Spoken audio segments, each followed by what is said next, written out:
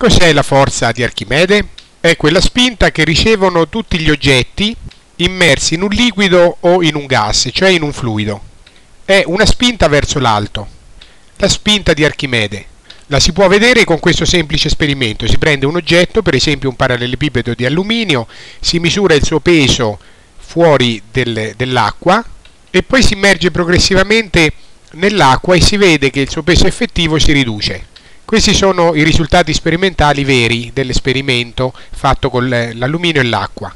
Per esempio con l'alluminio inserito eh, nell'acqua per metà, il peso effettivo scende da 113 grammi peso a 90, quindi vuol dire che i 23 grammi peso di diminuzione sono dovuti a una spinta dal basso verso l'alto di 23 grammi peso che è la forza di Archimede. Quando poi invece il parallelepipedo di alluminio viene inserito completamente, immerso completamente in acqua, allora si vede che la riduzione di peso è di 46 grammi peso. Vuol dire che in queste condizioni, cioè in immersione totale, la forza d'Archimede verso l'alto è di 46 grammi peso.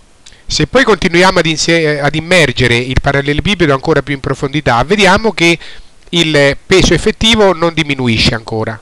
Cioè una volta immerso totalmente, anche scendendo in profondità, la spinta di Archimede rimane sempre la stessa, in questo esempio 46 grammi peso. Se proviamo a fare lo stesso esperimento con l'alcol al posto dell'acqua, siccome l'alcol è un liquido meno denso dell'acqua, troveremo che la forza d'Archimede è un po' meno intensa e lo vedremo perché la riduzione di peso sarà minore.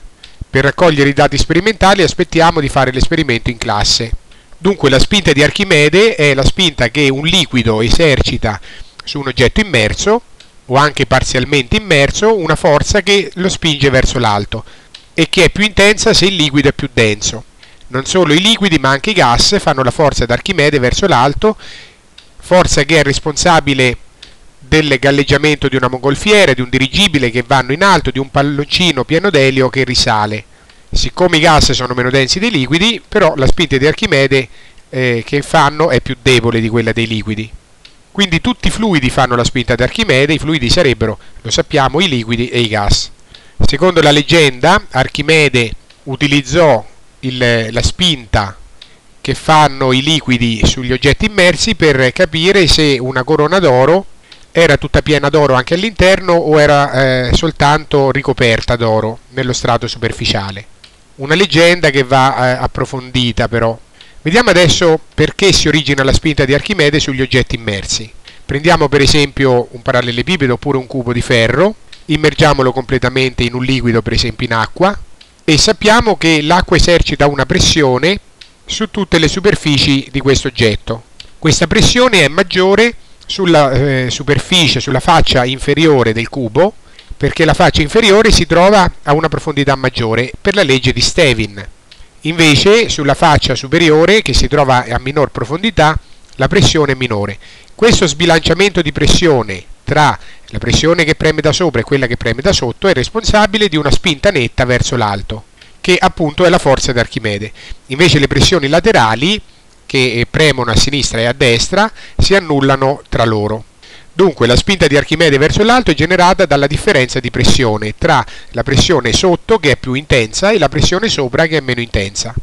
La spinta di Archimede non dipende dal materiale né dalla densità dell'oggetto immerso. Se noi sostituiamo il cubo di ferro con un cubo identico in, forma e dimensioni ma di legno, l'acqua che sta intorno non distingue se il cubo è di ferro o di legno, ma esercita eh, le stesse pressioni di prima.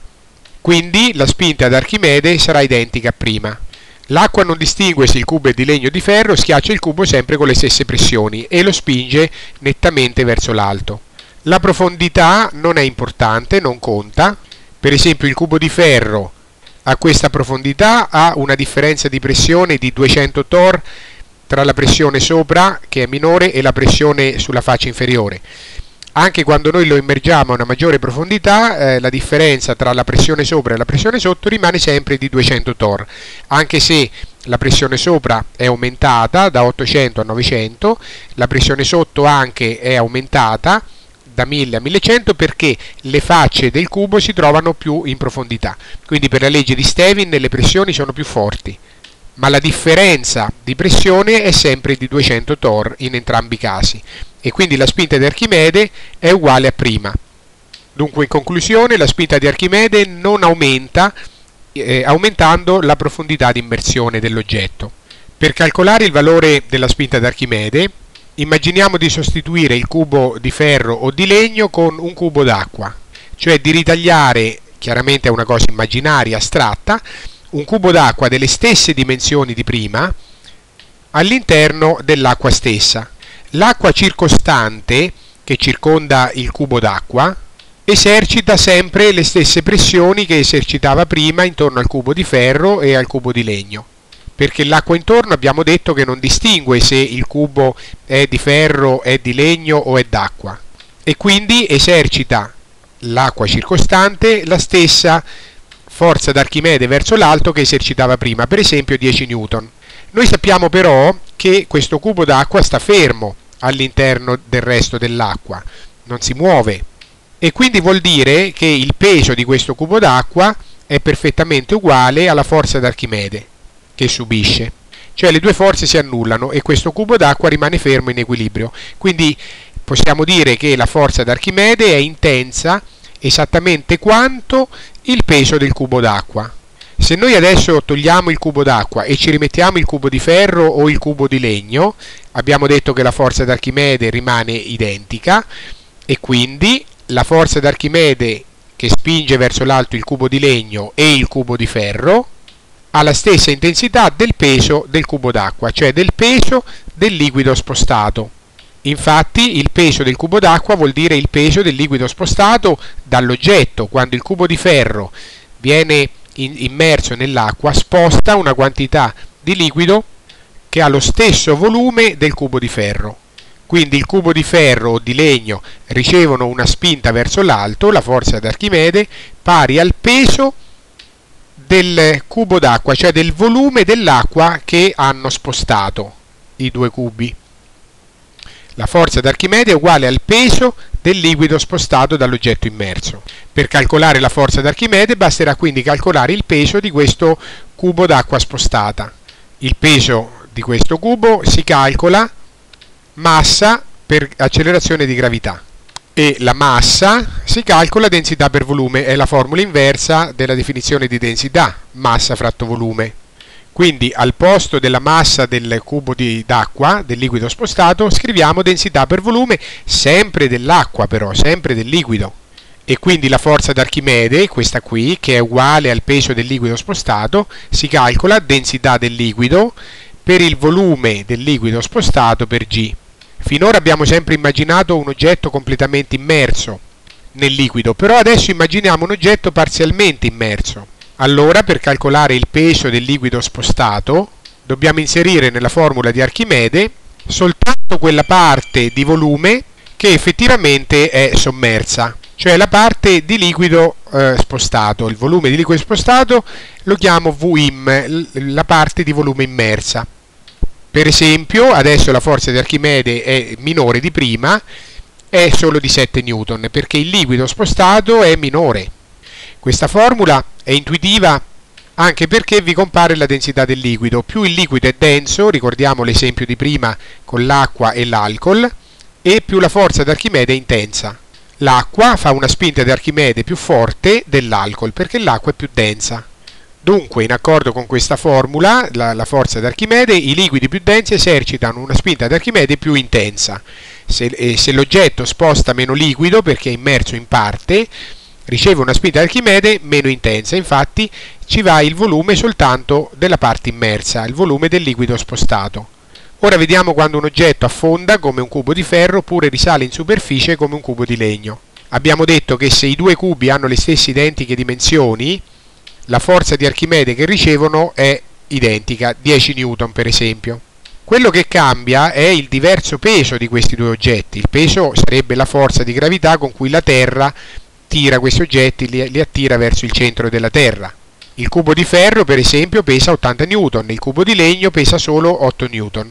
Quindi il cubo di ferro affonda perché il suo peso è maggiore della forza d'Archimede verso l'alto, il cubo di legno invece risale perché il suo peso è minore della forza d'Archimede. Invece di, di confrontare la forza d'Archimede con il peso, si possono confrontare la densità dell'oggetto con la densità del liquido. Qui possiamo dire che il cubo di ferro affonda perché la densità del ferro è maggiore della densità dell'acqua. Invece il cubo di legno risale perché la densità del legno è minore della densità dell'acqua. La dimostrazione fatta eh, con le densità è qui. Immaginiamo per esempio il cubo di ferro, la forza peso è maggiore della forza di Archimede e l'oggetto affonda. Allora al posto delle forze vogliamo confrontare le densità, quindi al posto delle forze scriviamo massa per G. La forza peso dell'oggetto la scriviamo massa dell'oggetto per G, la massa dell'oggetto la scriviamo densità per volume, densità dell'oggetto, volume dell'oggetto per G. La forza di Archimede l'abbiamo vista prima, la formula, densità del liquido per il volume del liquido spostato per G. Siccome l'oggetto è completamente immerso, in questo esempio, allora il volume dell'oggetto è uguale al volume del liquido spostato, perché l'oggetto sposta una quantità di liquido uguale al proprio volume.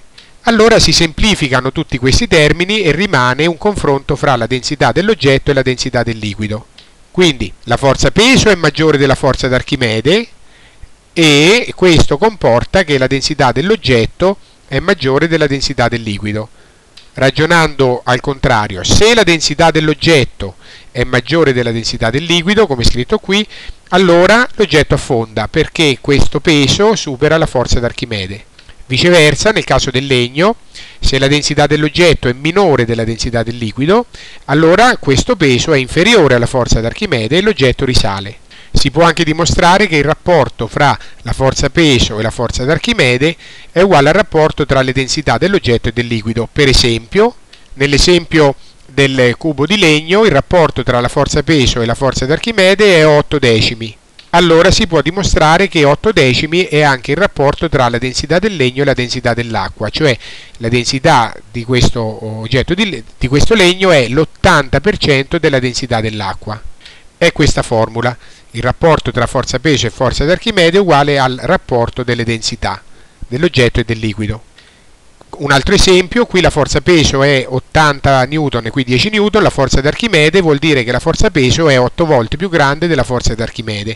Allora, questo significa che la densità di questo cubo di ferro, la densità del ferro è 8 volte superiore alla densità dell'acqua. È interessante il caso di un bullone d'acciaio che affonda nell'acqua perché ha una densità maggiore di quella dell'acqua, ma galleggia sul mercurio perché l'acciaio è meno denso del mercurio. Vediamo ora la condizione di galleggiamento quando un oggetto è meno denso del liquido, quindi risale in superficie, e eh, galleggia in equilibrio parzialmente emerso. Avendo trovato l'equilibrio vuol dire non va né su né giù, vuol dire che le forze su di lui si bilanciano perfettamente, le forze sono il peso e la forza di Archimede. Il peso del cubo di legno uguale a prima, è la forza di gravità con cui la Terra lo attira verso il basso e quindi è sempre 8 N, come prima. La forza di Archimede prima era 10 N quando il cubo era completamente immerso, adesso che il cubo è immerso, la forza è parzialmente emerso, la forza di Archimede si riduce e diventa uguale al peso 8 N e questa è la condizione di equilibrio. La risultante delle forze è 0 e il blocco di legno sta fermo. Perché si è ridotta la forza di Archimede da 10 a 8 N? Perché è diminuito il volume di liquido spostato. Adesso il cubo di legno non sposta più una quantità, un volume d'acqua uguale al volume del cubo di legno, ma eh, sposta un volume d'acqua minore, sposta un volume d'acqua pari alla parte sommersa, quindi non tutto il cubo di legno, ma soltanto la parte sommersa. La forza di Archimede eh, eh, ha perso un 20% del, della sua intensità perché era 10 N quando il cubo era tutto immerso e adesso è 8 N il 20% della sua intensità l'ha persa perché il 20% del, del cubo adesso è fuori dell'acqua. La parte che rimane sott'acqua è l'80%. Questo si può dimostrare rigorosamente proprio dalla condizione di equilibrio che la forza peso e la forza d'Archimede devono essere uguali. Scrivendo la forza peso, come abbiamo visto prima, densità per volume dell'oggetto per G e la forza di Archimede come abbiamo visto prima, densità per il volume di, di liquido spostato per G, viene fuori che il rapporto tra il, il, volume immerso, la parte sommersa dell'oggetto e l'intero volume dell'oggetto è pari al rapporto delle densità. Ad esempio qui la parte immersa è l'80% del blocco di legno e l'80% è anche il rapporto tra la densità del legno e la densità dell'acqua. In altre parole, siccome la densità del legno è l'80% della densità dell'acqua, allora il blocco di legno trova il suo equilibrio rimanendo immerso per l'80% del suo volume. Come scritto qua, il cubo di legno che ha una densità pari a 0,80 volte la densità dell'acqua, galleggia restando immerso per l'80% del suo volume. Il volume emerso è il 20% e questo 20% emerso è responsabile del 20% di forza d'Archimede persa da 10 a 8 Newton. Vediamo adesso l'esempio dell'iceberg fatto di ghiaccio meno denso dell'acqua 920 contro 1030 kg al metro cubo 1030 per via dei sali minerali eh, presenti nell'acqua. Il rapporto tra le densità del ghiaccio e dell'acqua è quasi il 90%. Allora, eh, per quello che abbiamo detto a proposito di questa formula e eh, l'esempio del cubo di legno, allora il 90% del, dell'iceberg è sommerso. Rimane sommerso il 90% perché il 90% è il rapporto tra la densità del ghiaccio e la densità dell'acqua noi vediamo soltanto quel 10% che emerge. Adesso vediamo una serie di esercizi sulla spinta d'Archimede, esercizi in cui ci servirà di ricordare di utilizzare le aree per esempio del cerchio e i volumi di figure geometriche particolari come la sfera, i parallelepipedi e i cilindri.